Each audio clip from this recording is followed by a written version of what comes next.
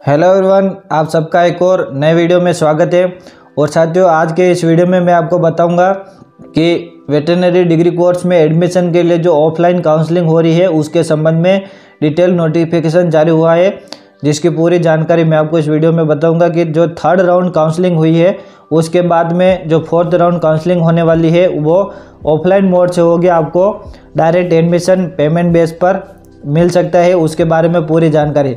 साथियों, इसके जस्ट पहले वाले वीडियो में मैंने आपको कौन से कॉलेज में कितनी सीटें खाली रही है, कितने एडमिशन और हो सकते हैं रेगुलर और पेमेंट के, वो पूरी जानकारी बताइए तो आप खाली सीट का भी जाकर देख सकते हो और अपना एडमिशन ले सकते हो ऑफलाइन काउंसलिंग मोड से।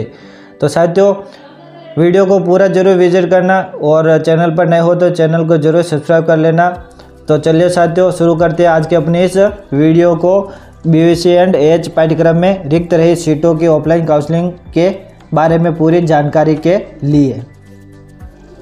राजस्थान पशु चिकित्सा और पशु विज्ञान विश्वविद्यालय बीकानेर 19 दिसंबर 2022 को ये जारी किया गया है और आप देख सकते हो बी एंड एच पाठ्यक्रम में रिक्त रही सीटों को ऑफलाइन काउंसलिंग द्वारा भरने के संबंध में विस्तृत विज्ञप्ति। राजस्थान पशु चिकित्सा और पशु विज्ञान विश्वविद्यालय बीकानेर के संगठक एवं संबंध निजी वेटनरी कॉलेज की राजस्थान स्टेट कोटा सीटों पर बीवीसी एंड एच पाठ्यक्रम सत्र 2022-23 में प्रवेश हेतु दिनांक 22 दिसंबर गुरुवार प्रातः 9 बजे ऑडिटोरियम वेटनरी कॉलेज बीकानेर में ऑफलाइन काउंसलिंग निर्धारित की गई है। ठीक है साथियों 22 दिसंबर गुरुवार को जो है, प्रातः नौ बजे से आपका जो वेटरनरी कॉलेज बीकानेर है, वहाँ पर ऑडिटोरियम में ऑफलाइन काउंसलिंग को निर्धारित की गई है।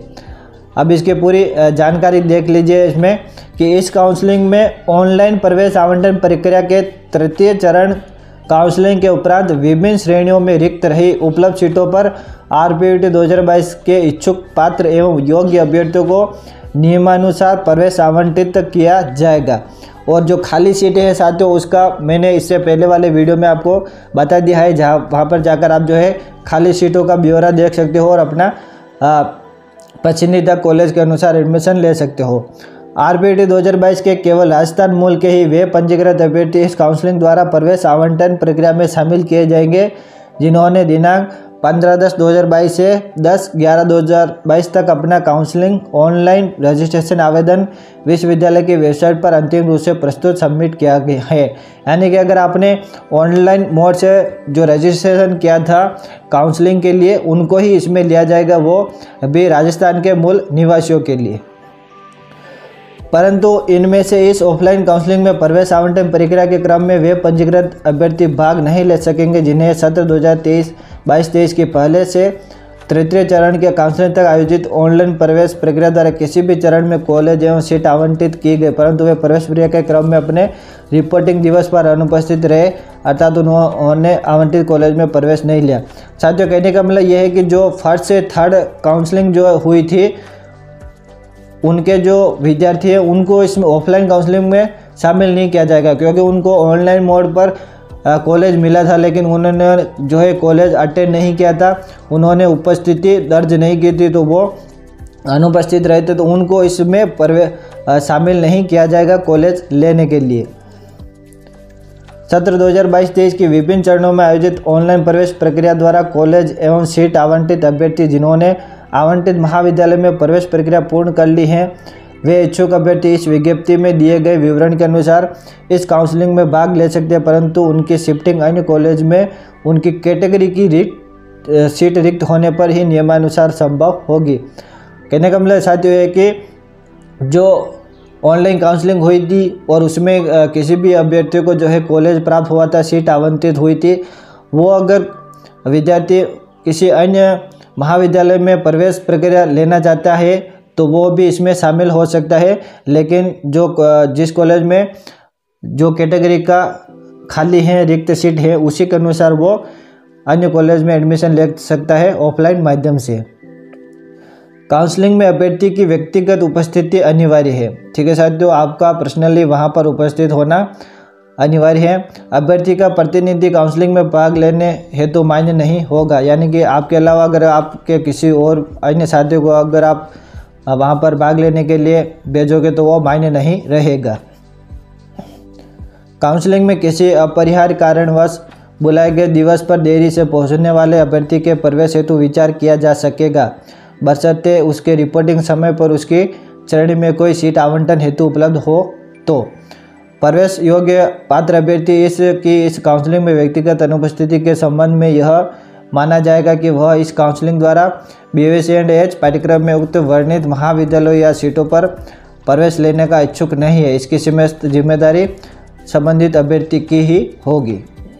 और जिन अभ्यर्थियों को पूर्व में किए गए विभिन्न चरणों के ऑनलाइन काउंसलिंग में कोई भी कॉलेज आवंटित नहीं हुआ है, वे प्रवेश लेने के इच्छुक एवं पात्र अभ्यर्थी आवश्यक रूप से अपने साथ नीचे लिखे सभी संबंधित मूल दस्तावेज़, अंक तालिकाओं और निर्धारित फ़ीस के साथ काउंसलिंग में उपस्थित हो सकते हैं। ठीक है साथियों, और प्रवेश आवंटित अभ्यर्थियों को अपना प्रवेश सुनिश्चित करने के लिए अन्य सभी औपचारिकताएँ आवश्यक या निर्देशित शुल्क एवं प्रवेश संबंधित सभी मूल दस्तावेज़ आदि जमा करवाना प्रवेश प्रक्रिया के समय ही काउंसलिंग स्थल पर पूर्ण करनी होगी। इसके लिए उन्हें कोई अतिरिक्त समय नहीं दिया जाएगा। ये समस्त कार्य जो है साथियों, उसी समय आपको पूरा करना रहेगा। इसके अभाव में उसका प्रवेश आवंटन निरस्त मानते हुए इस रिक्त सीट पर मेरिट में अगले प्रवेश योग्य अभ्यर्थी को प्रवेश आवंटित कर दिया जाएगा। फ़ीस हेतु चेक, पोस्टल ऑर्डर आरटीजीएस या एनईएफटी अंतरण इत्यादि स्वीकार नहीं होंगे। ठीक है साथियों फ़ीस के लिए ये सभी आपके स्वीकार नहीं रहेंगे। केवल केस ही चलेगा। विश्वविद्यालय के सभी संगठक महाविद्यालयों में रेगुलर सीट आवंटित सामान्य कैटेगरी छात्र की फ़ीस रुपये सत्रह हज़ार तीन सौ चालीस हैं और अन्य सभी श्रेणियों के छात्र छात्राओं की फ़ीस रुपये छः हज़ार तीन सौ चालीस। हॉस्टल फ़ीस अतिरिक्त रहेगी, निर्धारित है, जो कि नगद रूप में जमा करवानी होगी। विश्वविद्यालय के सभी संगठक महाविद्यालयों में पेमेंट शीट आवंटित अभ्यर्थियों को सीट आवंटन के समय पेमेंट सीट की फ़ीस राशि तीन लाख रुपए मात्र, dean college of veterinary and animal science Bikaner payable at Bikaner के नाम डिमांड ड्राफ्ट के रूप में एवं रेगुलर सीट फ़ीस की राशि युक्त विवरण अनुसार नगद रूप से काउंसलिंग स्तर पर जमा करवानी होगी। और साथियों, विश्वविद्यालयों से संबंध निजी महाविद्यालयों में सीट आवंटित अभ्यर्थियों को काउंसलिंग के समय ही काउंसलिंग स्थल पर पाँच लाख पचास हज़ार रुपये dean college of veterinary and animal science Bikaner payable at Bikaner के नाम डिमांड ड्राफ्ट के रूप में आवश्यक रूप से जमा करवाने होंगे। साथियों, ये जो है रेगुलर सीट और पेमेंट सीट के लिए अलग अलग है, जो आपको जमा करवानी है। अभ्यर्थी काउंसलिंग के समय निम्न लिखित मूल अंक तालिका एवं प्रमाण पत्र आवश्यक रूप से साथ लेकर आवे। ये आपको जो है साथियों पंद्रह टोटल जो डॉक्यूमेंट दे रखे हैं, ये सब आपको साथ में लेकर जाने हैं एडमिशन के समय। Photocopy of Aadhaar card R P T दो हज़ार बाईस application form R P T दो हज़ार बाईस एडमिट कार्ड मार्कशीट और ऑनलाइन काउंसलिंग रजिस्ट्रेशन फॉर्म ये आर पी टी के जो फॉर्म है, वो सब लेकर जाने हैं और राजस्थान डोमिसली सर्टिफिकेट ले जाना है। Caste certificate with issue date as applicable S C S T S T O B C M B C E W S इन सब का। और टेंथ और ट्वेल्थ की मार्कशीट और सर्टिफिकेट दोनों ले जाना है। और character certificate from principal of last attendance institute यानी कि जो आपने लास्ट स्कूल या कॉलेज जो पास की है। और T C of last attendance institute migration certificate और और जो download admission form form along with annexure one two three ये सब आपको साथ में लेकर जाना है। काउंसलिंग हेतु यह आमंत्रण तदनुसार काउंसलिंग अभ्यर्थी की उपस्थिति, उसे प्रवेश की गारंटी प्रदान नहीं करते। केंद्रीय प्रवेश मंडल को परिस्थिति या आवश्यकता अनुसार काउंसलिंग के निर्धारित शेड्यूल में परिवर्तन का पूर्ण अधिकार होगा। व इसकी सूचना काउंसलिंग स्थल पर दे दी जाएगी। काउंसलिंग में भाग लेने हेतु किसी भी प्रकार का भत्ता आदि नहीं दिया जाएगा।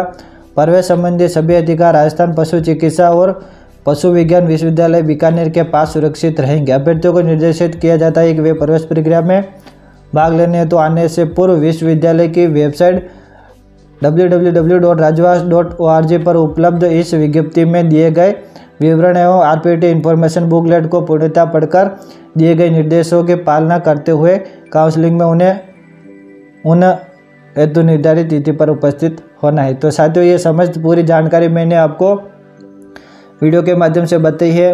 आप इसकी वेबसाइट पर जाकर भी इसको पढ़ सकते हो। तो साथियों, आशा करूँगा कि आपको हमारी ये जानकारी अच्छी लगी हो तो लाइक, कमेंट शेयर ज़रूर करना। मिलेंगे नेक्स्ट वीडियो में। तब तक के लिए धन्यवाद। थैंक्स फॉर वॉचिंग जय हिंद। वंदे मातरम।